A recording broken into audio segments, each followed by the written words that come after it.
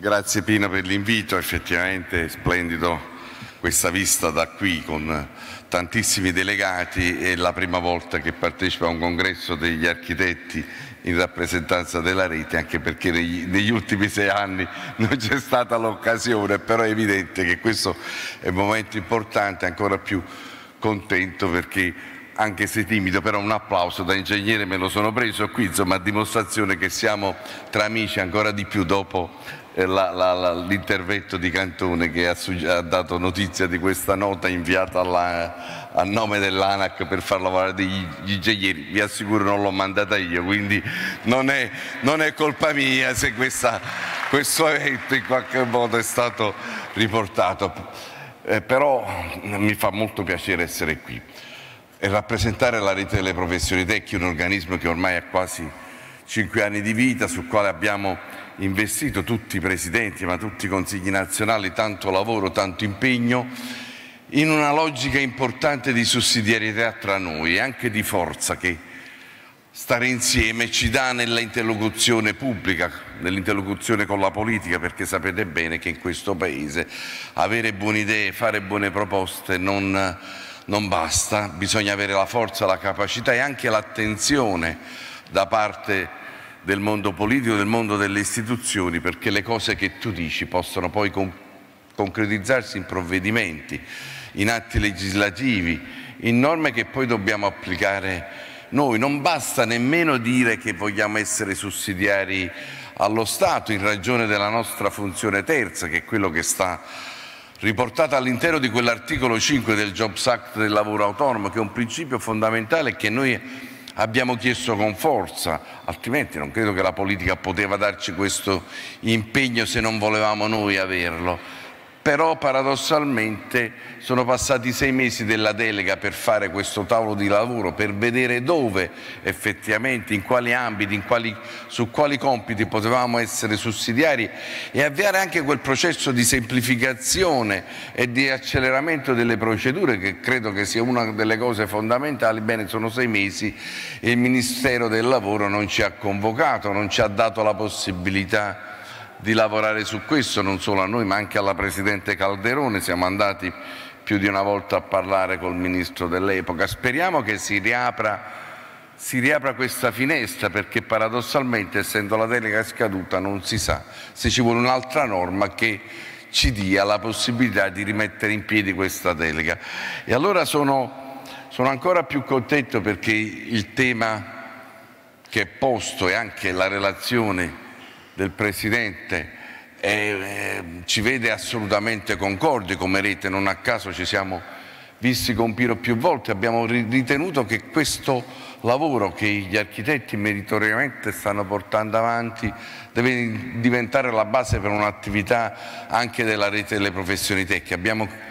costituito un gruppo di lavoro ad hoc, lo chiameremo qualità della costruzione, non vogliamo invadere il campo di nessuno, ma sicuramente eh, l'opera di architettura è anche un'opera di ingegneria, ma è anche un'opera che riguarda altre professioni, sostanzialmente sono le costruzioni che devono avere quali la qualità, tutti gli interventi che riguardano non solo l'opera civile, l'opera edile, ma anche le infrastrutture. Se immaginate che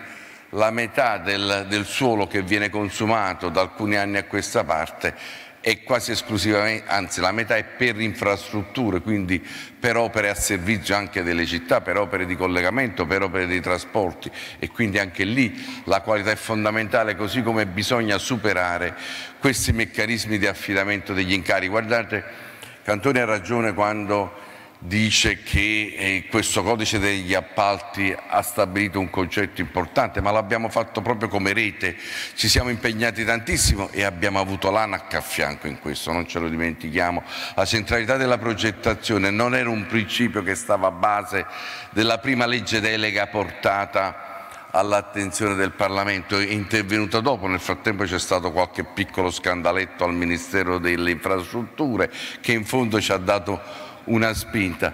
Però questo principio non era granché condiviso e ancora oggi, quando sento parlare di mandare in soffitta il codice degli appalti, mi preoccupo che dietro ci possa essere qualcheduno che lo faccia non per semplificare, non per accelerare, ma per riportare al, o per mettere ma, e rendere marginale ancora una volta la progettazione come è stata per troppi anni.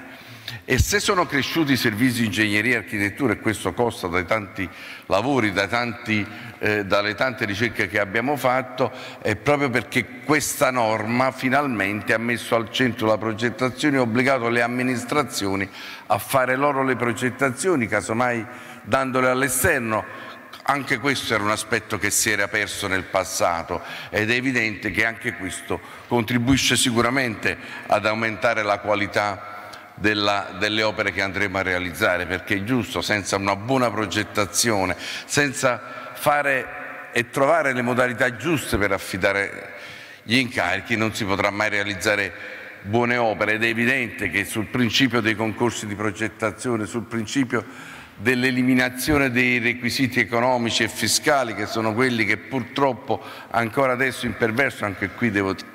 dire l'ANAC ci ha dato una mano, ma non siamo riusciti fino in fondo a determinare quel passaggio fondamentale, qualche cosa l'abbiamo fatto con la curva bilineare per l'affidamento degli incarichi evitando i ribassi eccessivi, ma anche qui troppo spesso le amministrazioni non ci hanno seguito o cercano di derogare, sono tantissimi i bandi che andiamo a contestare, probabilmente un, dei corsi di formazione obbligatori per i responsabili del procedimento sarebbe utile qui come professioni. Potremmo anche cominciare a pensare che sia giusto farlo anche perché qui chiudo, il tema della formazione è fondamentale, la rete sta cominciando a pensare a una formazione che vale per tutti, guardate non c'è una primazia culturale tra una professione e l'altra, ognuno ha la sua specificità, la sua competenza, l'importante è che tutti mettiamo a fattor comune le nostre esperienze, le nostre conoscenze per essere più forti e più capaci di rappresentare tutto il mondo delle professioni.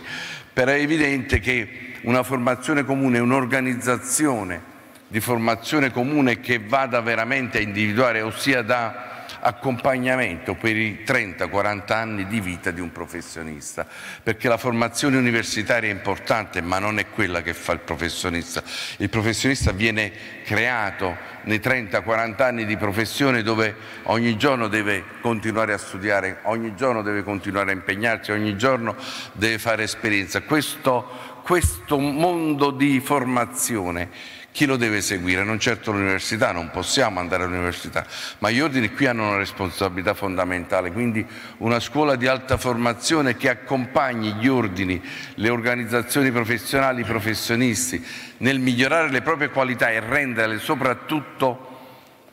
leggibili, spendibili all'esterno, perché questo lavoro di formazione e di preparazione che facciamo all'esterno non è visto, non è comprensibile. Prova ne è che i requisiti per le gare sono requisiti economici, quelli che lo Stato riesce a conoscere di ognuno di noi, ma sappiamo perfettamente che non sono quelli i requisiti importanti, i requisiti sono la qualità intellettuale, le capacità, le conoscenze, l'esperienza che si fa soprattutto nel periodo post laurea. Allora questo è quello che cercheremo di organizzare come rete, perché uno sforzo importante lo dobbiamo fare tutti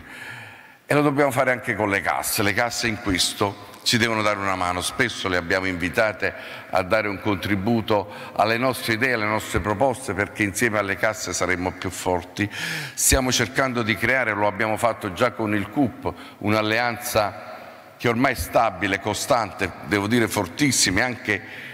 capace di ottenere straordinari risultati come quello dell'eco compenso, però bisogna andare oltre. Abbiamo anche bisogno di risorse, le casse devono pensare che investire o dare un contributo a queste iniziative degli ordini alla fine serve anche e soprattutto alla sostenibilità della loro organizzazione, della nostra organizzazione, per le casse sono nostre, quindi vogliamo che continuino e lavorino bene e siano soprattutto sostenibili come la legge ci impone a 50 anni. Ecco, questo è quello che continueremo a fare insieme nella rete, insieme al CUP, insieme alle casse, insieme a tutte le professioni che vogliono riconoscersi in un processo di ammodernamento e di riorganizzazione. La riforma ci ha dato tantissimi impegni, non c'è professionista al mondo che abbia tutti gli obblighi che ha un professionista in Italia. Bene, io credo che la politica debba essere orgogliosa di queste professioni, orgogliosa anche degli architetti che oggi hanno presentato un manifesto di straordinario interesse e di straordinaria qualità. Grazie veramente per questo Pino e lavoreremo insieme su questo.